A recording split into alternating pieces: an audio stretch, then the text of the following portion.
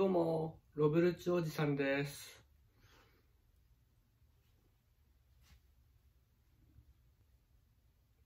メンフクロの代わりに、ロブルチおじさんが今の気持ちを話したいと思います。ちょっと、下のおじさん、なんか頭の上に乗せてんだけど、頭大丈夫なのかな？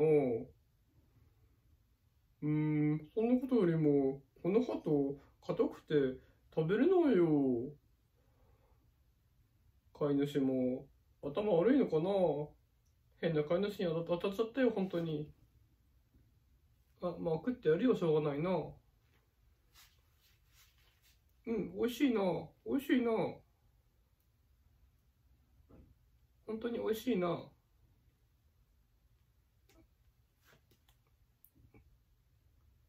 ーい。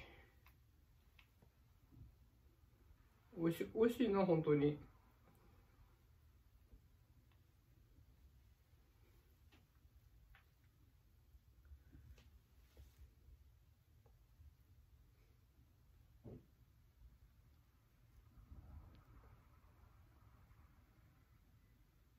もうそろそろこの人飽きたし、飛び立とうかしら。